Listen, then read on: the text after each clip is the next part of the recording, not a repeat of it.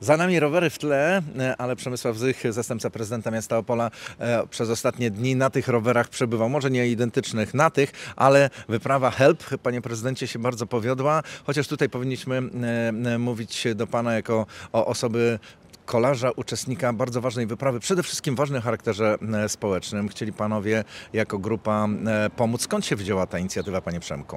Przede wszystkim jako również członka e, pewnej jakiejś tam grupy chłopaków, którzy mieszkają w Chmielowicach i akurat Kasia również jest mieszkanką e, Chmielowic. Kasia e, choruje, walczy z chorobą nowotworową.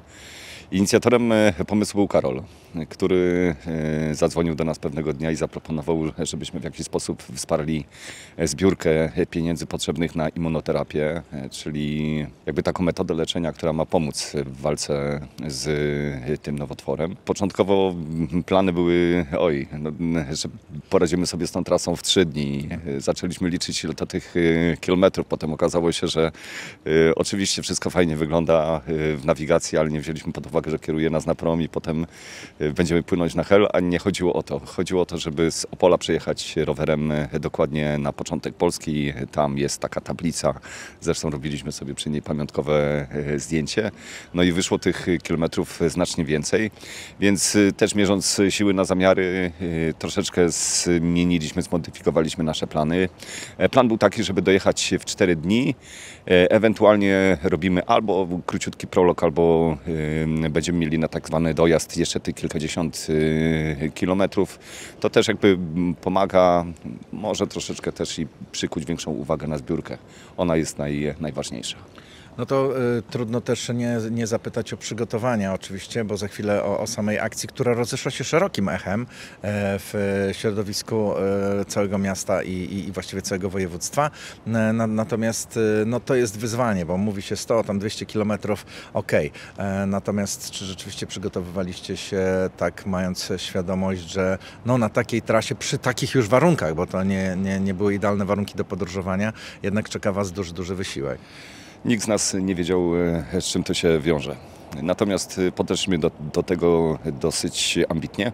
Czy to były treningi, e, które faktycznie pozwoliły nam się dobrze przygotować? Ja mogę jakby mówić z perspektywy swojej, jeżeli chodzi o moje przygotowanie takie wydolnościowe, wytrzymałościowe, to, to było bardzo ok. E, Oczywiście są pewne sytuacje nieprzewidziane. E, Zmagaliśmy się z wirusem podczas e, podróży. To nas trochę gdzieś tam zmęczyło, no ale głowa pozwoliła do, dojechać do, do mety. Treningi najczęściej to były takie rundy 30, 40, 50 kilometrowe na rowerze, na tempie troszeczkę wyższym niż normalnie jechaliśmy w trakcie naszej e, podróży. I ja sobie do tego dołożyłem jeszcze taki trening uzupełniający, trening biegowy, żeby zwiększyć jakby moc mięśni e, nóg i oczywiście również wydolność. Mi to pomogło. Wszyscy zresztą dojechaliśmy w grupie. To jest chyba najważniejsze, ale najważniejszy był, tak jak e, mówimy, e, cel, czyli to, że mogli panowie e, pomóc. Dzisiaj już wiemy, że ta pomoc jest też konkretna, bo, bo ten wymiar, taki jak założyliście, pewnie się sprawdził. Choć oczywiście pomoc dla pani Kasi wciąż jest bardzo, bardzo potrzebna.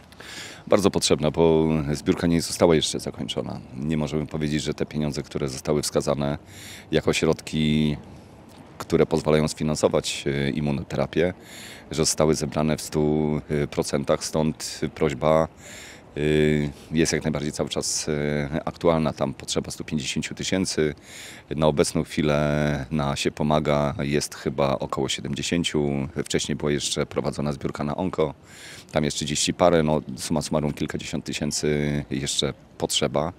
I tutaj wielka prośba o wsparcie. Wystarczy chociażby czy w Google'ach, czy, czy na się pomaga wpisza, wpisać e, Katarzyna Rumińska i można od razu zobaczyć faktycznie przekierowanie na, na konkretną e, zbiórkę, która będzie wspierać właśnie Kasię.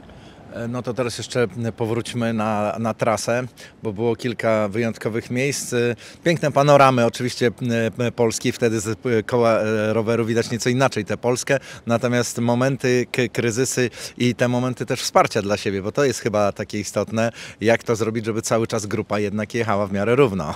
Staraliśmy się jechać mniej więcej z taką średnią e, około 20 km na godzinę. Tak to sobie kalkul- kalkulowaliśmy, ile wtedy będziemy musieli spędzić e, czasu e, w siodełku. Y, Pierwszego dnia 140, potem 154, 110, ponad 150, y, no i tych kilkadziesiąt kilometrów na dojazd do samego Helu, tak to mniej więcej się poskładało. Ja przyznam szczerze, jak zobaczyłem te pierwsze 140, jak panowie napisaliście, to powiedziałem sobie, jak oni wejdą na rower następnego dnia. I daliśmy radę. Faktycznie tego następnego dnia mieliśmy w początkowych y, momentach dnia szczęście, tak to trzeba powiedzieć, dlatego że akurat wiatr nam sprzyjał, a było trochę przewyższeń. Y, Potem było już troszeczkę inaczej, zmienił się kierunek wiatru, walczyliśmy z tym y, wiatrem, ale chyba już napędzeni tym, że meta coraz bliżej dociągnęliśmy do samego końca.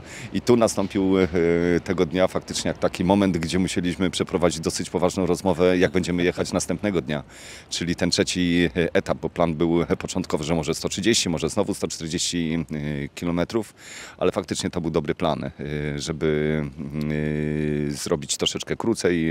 Do Grudziądza było chyba tam, jak pamiętam, 90. Przejechaliśmy 110 kilometrów i to był strzał w dziesiątkę, bo to pozwoliło nam pozbierać siły na y, ten czwarty etap y, decydujący. Wtedy Mieliśmy dojechać do Gdańska, tam zjedliśmy obiad i z Gdańska niby tam już y, człowiek ma takie wyobrażenie. Przecież Że to już, nie? To już, tak, ale patrzymy, a to jest jeszcze kilkadziesiąt kilometrów. Ho, ho, ho. Y, Dojechaliśmy do Pucka, więc to było jeszcze chyba z Gdańska, jak dobrze y, kojarzę, ze z 50-60 y, kilometrów, więc w nogach też siły musiało być jeszcze całkiem, całkiem sporo. No oprócz e, tych, tak jak mówiliśmy, wrażenia emocji towarzyszących e, Wam w związku z akcją, jakie wrażenia e, na trasie? E, Mieliście okazję też gdzieś się chwilę zatrzymać, porozmawiać, spotkać mieszkańców poszczególnych regionów, bo e, takie akcje odbywają się w różny sposób, różne osoby to, e, to oczywiście robią właśnie z głównym takim celem, jakim jest pomoc e, dla, dla kogoś, objeżdżając nawet przecież całą, całą Polskę, więc się też tak zastanawiałem, jakie są Wasze wrażenia i nie wiem, pomysł na to, by na przykład e, zrobić następny wyjazd e, od e, źródła Odry aż po jej ujście. Pomysłów jest na pewno bardzo dużo. Ja może rozpocznę od tego, że na całej naszej trasie też spotkaliśmy wiele osób, które wiedząc e, dlaczego jedziemy, jakie są nasze e, intencje, też nas e, wspierała. Czy to dostaliśmy dobrą cenę, jeżeli chodzi o hotel, czy, czy ktoś nam zaoferował jakiś tam poczęstunek. Tak było na przykład w sklepie spożywczym. Panie z Zalady y, że nam zrobią y, kawę, czy nas poczęstować. y, Super.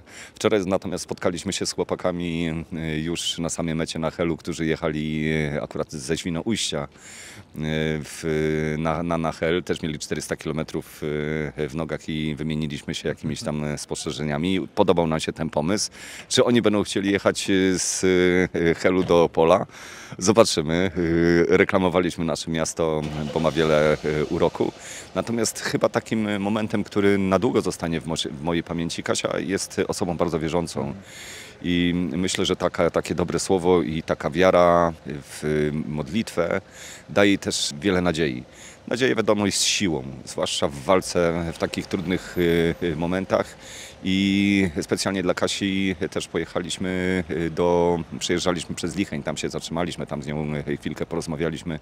Widzieliśmy, że dla niej to było bardzo, bardzo ważne, a z racji tego, że samo to spotkanie na telefonie, bo mm, Kasia nas widziała, my, my widzieliśmy Kasię, rozmawialiśmy z nią, widzieliśmy, że to wzbudziło mnóstwo takich y, emocji, to będę na pewno pamiętał bardzo długo.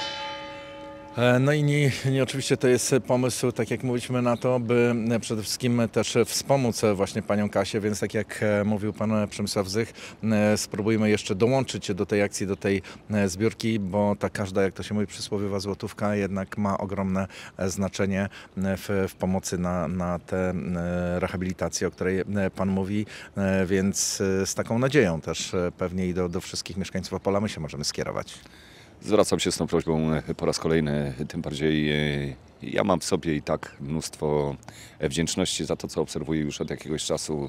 Pamiętacie pewnie Państwo, na wakacjach e, dzieciaki z Chmielowic organizowały festyny, były aukcje ich zabawek, książek. To oczywiście były ich pomysły. Potem pojawiła się lemoniada. Uzbierały, wydaje mi się, ponad 10 tysięcy złotych, e, żeby wesprzeć e, zbiórkę dla, dla pani Kasi. E, Potem dołączyli się do tej zbiórki nasi opolscy e, seniorzy. Podczas swoich spotkań też e, robili zbiórki e, środków y, finansowych, y, firmy, które nas y, wsparły. Ogromne podziękowania i za to wsparcie takie techniczne, oczywiście również finansowe, które spływa na konto bezpośrednio. Na się pomaga Kasia Rumińska. No tych różnych takich sygnałów, że ludzie chcą pomóc innemu człowiekowi, powoduje, że, no, że człowiek myśli sobie Że w człowieka można wierzyć. jak najbardziej.